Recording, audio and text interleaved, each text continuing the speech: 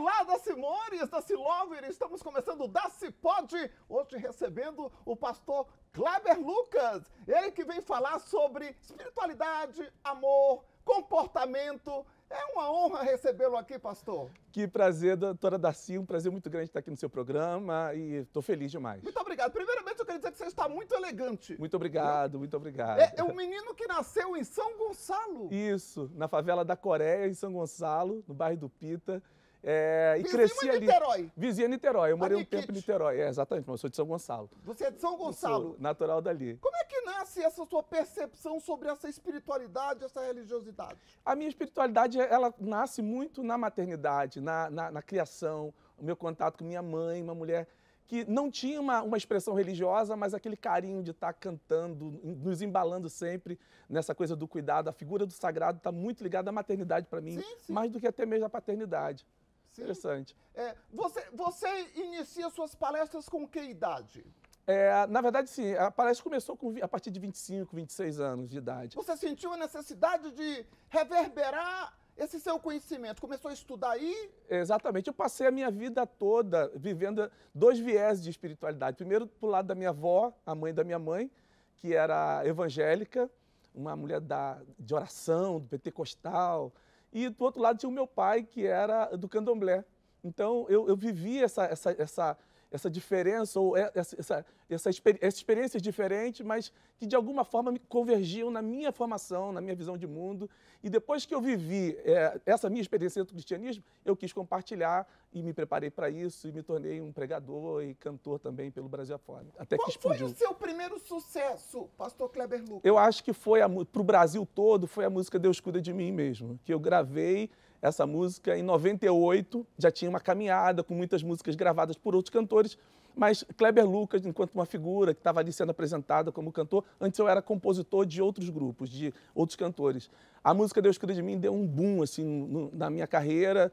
É, e, e, eu comecei, até hoje eu canto essa música. Você pode cantar um trechinho dela pra gente? Eu preciso aprender um pouco aqui, eu preciso aprender um pouco ali. Eu preciso aprender mais de Deus, porque Ele é quem cuida de mim. Deus cuida de mim. Na sombra das suas asas, Deus cuida de mim. É isso. Você tem a voz realmente de né? musicista. De, de Tive quem... o privilégio de cantar essa música com Caetano Veloso, novamente regravar no final do ano passado. Estava na novela ah, preciso, das sete. Eu, tem no YouTube isso? Tem no YouTube, ah, então tá aí. Ver. É, tá lindo, doutor Darcy. Ah, ah, você também é um historiador, né? Sim, sim. Que estudo... se formou em História. Isso, eu fiz teologia e o meu mestrado foi em História Comparada, onde eu estou fazendo agora o doutorado em História Comparada também. E eu trabalho, é um objeto muito interessante do século XIX, estou feliz demais nessa, nessa, nesse caminho também de, de historiador, de você poder juntar a sua fé ao conhecimento e você fazer esses diálogos possíveis. Tá, qual é o, o, seu grande propósito, um fundamento de mudança no ser humano? O que, que você imagina e prega? Eu prego o amor, eu prego que todo ser humano tem uma, tem uma coisa nele que aponta para o sagrado, para a subjetividade, para o encontro com o sagrado. E o sagrado vai ter muitos nomes, porque são experiências religiosas do sujeito, de cada sujeito. Tem aqueles que não são religiosos, mas de alguma forma, como Sartre fala, vai se autenticar de alguma forma. Mas eu, eu prego, sobretudo, essa essência da mensagem do sagrado, que eu preciso ter uma conexão que me verticaliza, mas eu também preciso humanizar essa, essa experiência, senão ela não é legítima. Né? Humanizar né? já é, é, é, já é pregar religião. É pregar a mensagem, por exemplo, dentro da minha experiência religiosa no cristianismo, a mensagem que Jesus nos deixou, de amar a Deus sobre todas as coisas e ao próximo como a si mesmo. Esse Deus que é invisível, que tem muitos nomes, ele é visibilizado no meu contato na verticalidade. Quanto mais humanidade eu tenho, mais conexão, mais conectado eu me aproximo do sagrado, que é invisível, inclusive. Existe uma, uma dispersão nos tempos de hoje muito grande, não é? Dessa, dessa aproximação com o nosso Cristo, com essa, uh, essa fé que pode ser praticada. Como é que você vê essa evasão, as pessoas às vezes furtivas ali, não, no curto, como é que é isso? É, eu acho que, doutor Darcy, que a, algumas pessoas vão se desapontando muito com a religião. É, mas a, o que nós precisamos entender é que o grande religare não são as estruturas. O grande religare é, é a sua conexão com ele, com a mensagem dele. O que ele deixou de mensagem? Ame a Deus, cuida do seu próximo. E às vezes, é porque a gente não vê alguns segmentos respeitando isso, as pessoas vão se desapontando. Elas vão se desapontar de alguma forma. A gente está sempre se desapontando na vida com pessoas, com coisas, com instituições. Mas a mensagem essencial é ame o seu próximo, cuida do seu próximo, respeita o seu próximo. Eu, eu concordo com você. Você acredita que, às vezes, um, um, um, discurso, uma narrativa de promessas, não é, que são apenas terrenas, podem confundir a cabeça das pessoas? Podem sim, especialmente quando é, isso não se cumpre. Mas o fato é que existe uma grande parcela da sociedade, do mundo hoje, que está desprovido desse, desse cuidado, às vezes, social. Então, essa coisa de você, é, quase que uma utopia possível, de você saber que Deus está cuidando da sua vida, que você pode realizar sonhos, que você pode inclusive sonhar. Porque às vezes o mundo está tão, tá tão difícil, tão desafiador, que as pessoas não conseguem nem ter ambiente para sonhar. Então, é, é importante ter essa mensagem de uma utopia possível, através da fé, através da oração. Que é alimento, né? Que é alimento, que renova. Que, e eu acredito que, que milagres acontecem sim na vida de muitas pessoas.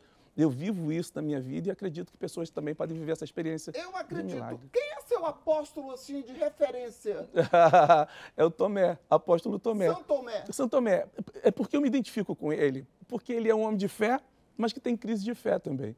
Então eu me vejo eventualmente, muito embora quando sendo uma pessoa de fé, de oração, que lê, que estuda, que busca, eu me vejo nos meus conflitos quando eu não tenho resposta como ser humano. Como ser humano. Então Tomé é uma figura que me, me aproxima muito daqui de como eu vejo aquela comunidade de Jesus ali dos doze apóstolos. É um homem que uma hora crê, daqui a pouco ele ele começa a duvidar e ele fala, é, me ajuda na minha falta de fé. Ele fala isso, é, né? É, é exatamente, essa coisa do Tomé, dele ser, dele ser é, às vezes ele naufragar um pouco na fé. Como é essa sua uh, criatividade em fazer as suas músicas? É um, você se dá o tempo de, em casa à noite, através de uma leitura, de uma passagem da Bíblia, despertar para uma composição? Isso, através de experiências que eu estou vivendo, de sucesso, de coisas maravilhosas que acontecem, através de experiências das minhas próprias fragilidades a maneira como eu vejo o mundo, às vezes, me desperta muito a fazer música, de querer ser uma resposta para o sofrimento humano.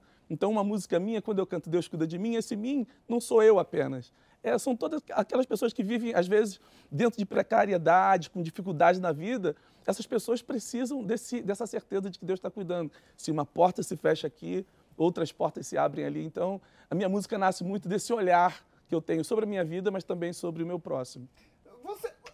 Vive um mundo hoje de, de pessoas muito uh, tomadas de ódio uns com os outros, tem a questão racial, tem a questão de gênero. Isso também você cuida de abordar para alinhar pensamentos de, de, de, de, de, vamos dizer assim, de uma comunhão entre todos, não é? É, especialmente por ter um olhar também como historiador, nós precisamos entender que, em se tratando de Brasil, é, o laicismo é uma das grandes conquistas do Estado Democrático de Direito. Então, você ter a sua experiência não pode, não pode, não pode se tornar uma coisa tão absoluta para você que se torna intolerante à experiência do outro.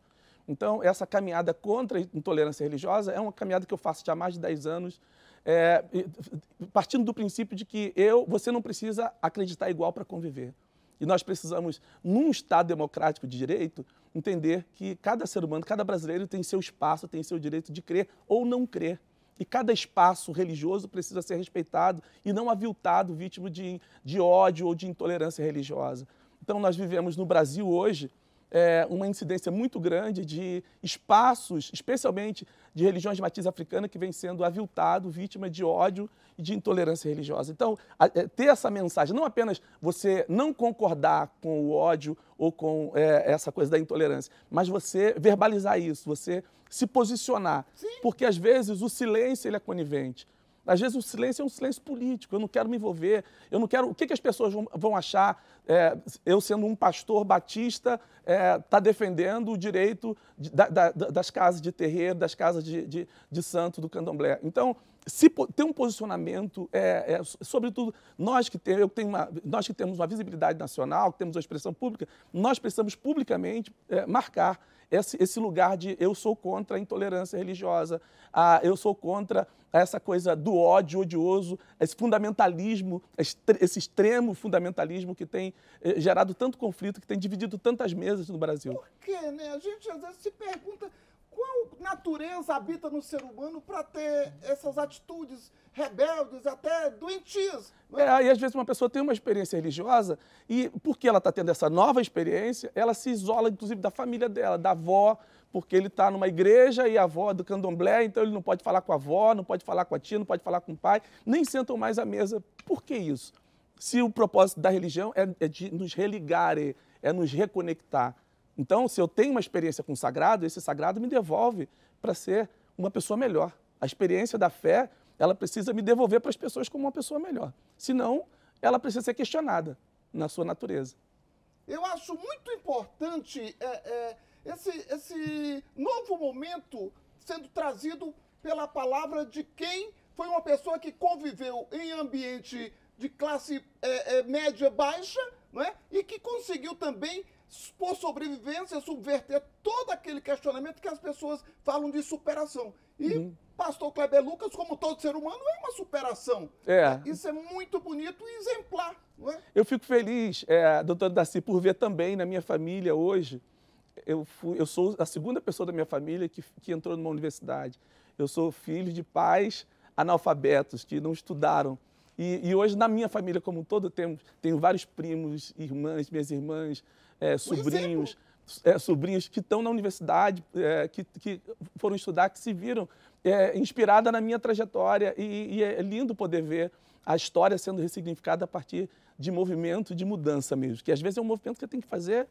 É, e também eu não posso negar o fato de que a fé me sustentou muito, me deu muita força para vislumbrar, para olhar para aquela aquela realidade que eu estava e poder transformá-la e poder acreditar que ela podia ser transformada. Como é, como é que você orientaria, assim, por experiência própria, essa, essa relação entre ser humano e fé? Onde é que nasce essa chavezinha? Onde é que ela vira para a pessoa ter essa intuição, essa resiliência? É, eu acho que está aí, né? A gente vai percebendo a vida, mas quando eu, eu, eu gosto de marcar bastante isso, porque a experiência religiosa não é uma coisa, não é um pacote feito que vem para a pessoa que eu passo, ó, vou te passar o que é a experiência religiosa. Não, a pessoa tem a experiência religiosa. Ela só se torna mais sensível à presença de Deus na sua vida, na sua trajetória, de Deus como pai, mãe, como, como essa presença que se faz presente, muitas vezes através de pessoas ou através de uma experiência particular. De qualquer forma, a experiência é a pessoa que tem. Eu não posso trazer um pacote doutrinário e dizer você vai experimentar Deus dessa forma. Não, você experimenta Ele.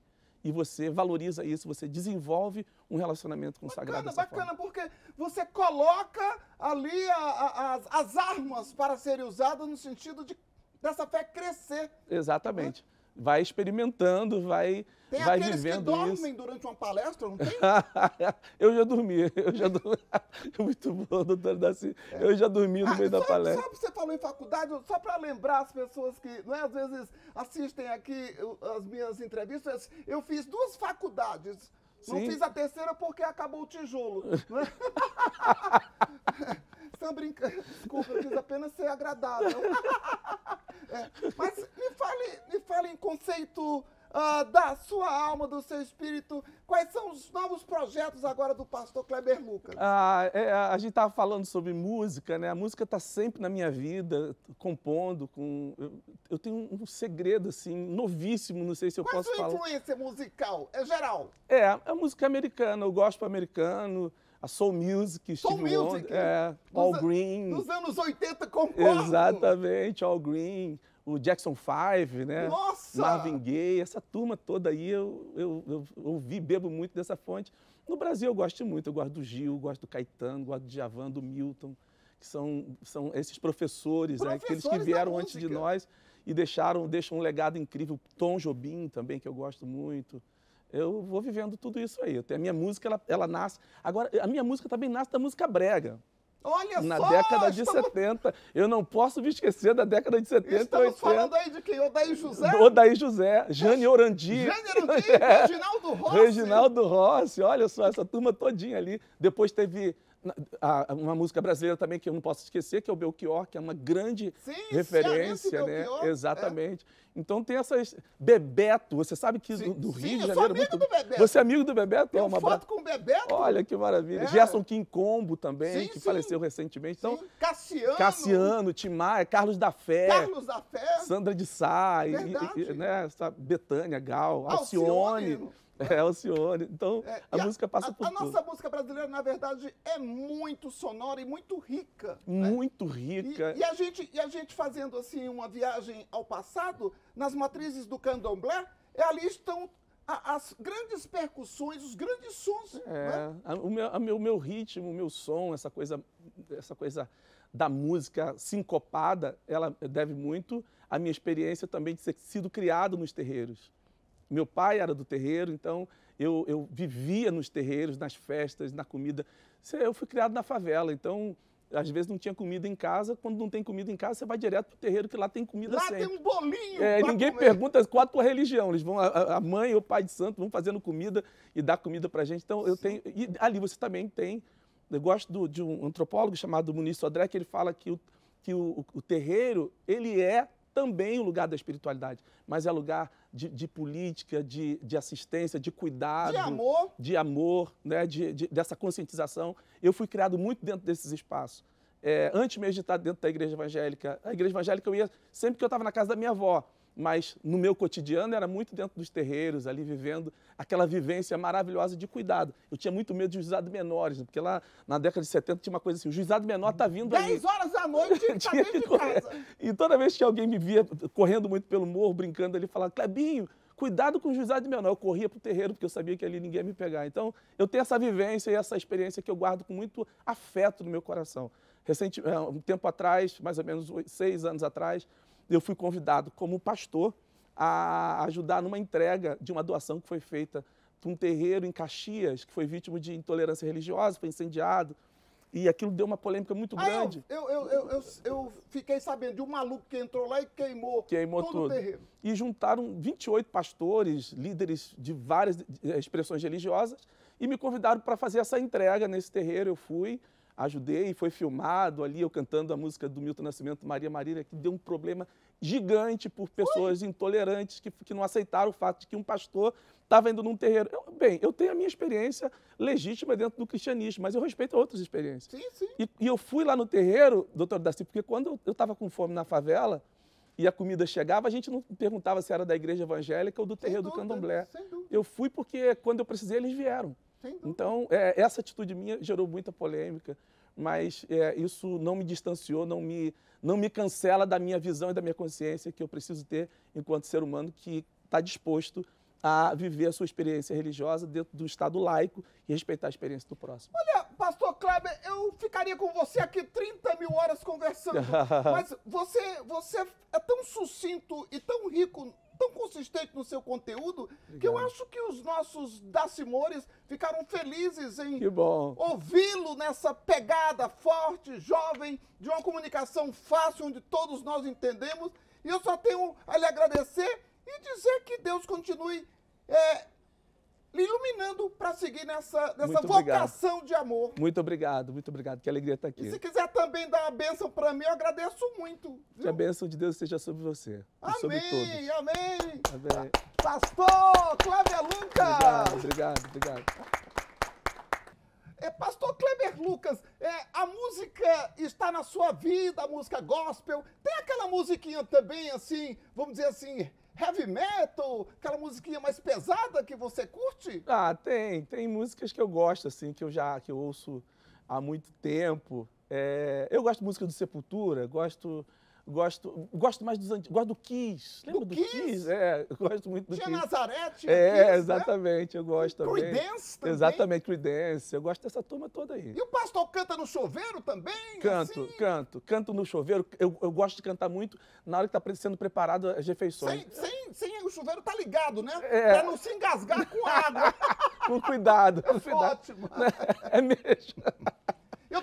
Dia observando como, como as coisas são bem feitas, né? É, é, Deus fez o nariz da gente com os buraquinhos para baixo. É. Né? Porque quando a gente for cantar no banheiro, não morre afogado. né? É impressionante essas minhas deduções que eu faço. É, são profundas. É, são muito profundas. E outra pergunta: qual o melhor jeito de praticar amar o próximo como a ti mesmo? Eu acho que é um cuidado mesmo. é, o, o amor é, é mais do que uma experiência de sentidos. O amor acontece na história. O amor ele se efetiva no cuidado, se efetiva no respeito, na, nesse lugar de escuta, não apenas no lugar. A gente vive num mundo está todo mundo falando o tempo todo, mas e o lugar da escuta do próximo, de, de um olhar lançado diferenciado? Então o amor se manifesta ali, quando eu eu tô, tô an- andando pelas ruas de Ipanema e estou vendo as pessoas ali, às vezes, no chão, na rua, e não, não sou indiferente àquilo, mas eu me dirijo a elas. Você não as vê como invisíveis. É, né? Exatamente, exatamente.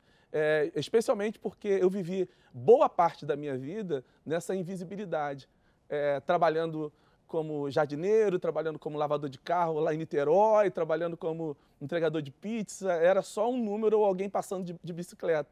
Mas é, e- e por ter vivido isso, especialmente, o meu olhar para o outro precisa ser na história, precisa se dar na relação. é, uma das marcas do- do- da mensagem de Jesus é que ele ia converter o coração dos pais aos filhos e dos filhos aos pais.